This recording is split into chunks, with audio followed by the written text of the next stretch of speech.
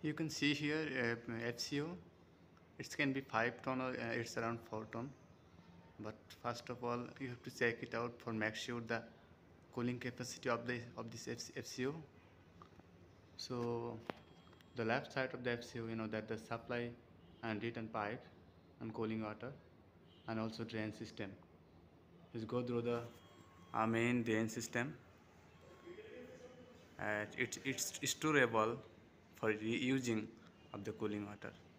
So now beside of this drain system and pipe system you can see here duct.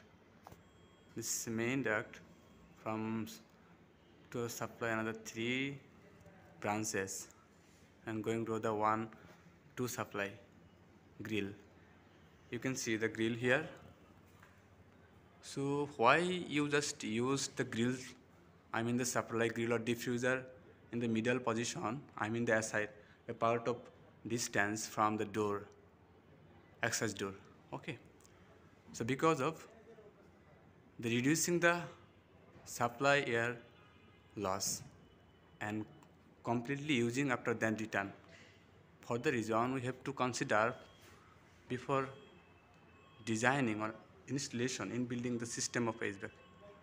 So why you need to install supply and return duct? I mean the return diffuser and supply diffuser.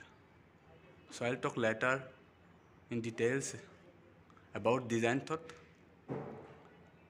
So stay with my channel and subscribe.